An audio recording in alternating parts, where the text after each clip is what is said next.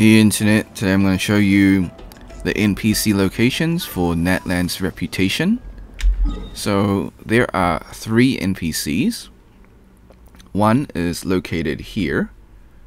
So when you first get to Natlan, from here, there is a statue of the Seven.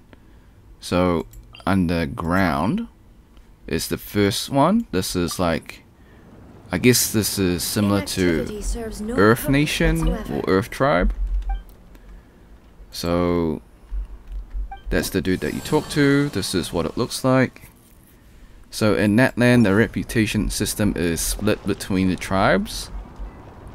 Currently, there is only three, but I'm sure since there's six tribes, they may add in another three reputation NPCs. So the next one is the Jungle Tribe. I wish they would have added a different element rather than jungle. That way I could have made a reference to Avatar The Last Airbender, but sadly they decided to put earth, water, and jungle, or wood.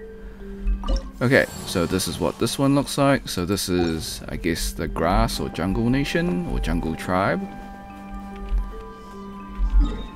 And then lastly, we've got the water tribe. So this is located here.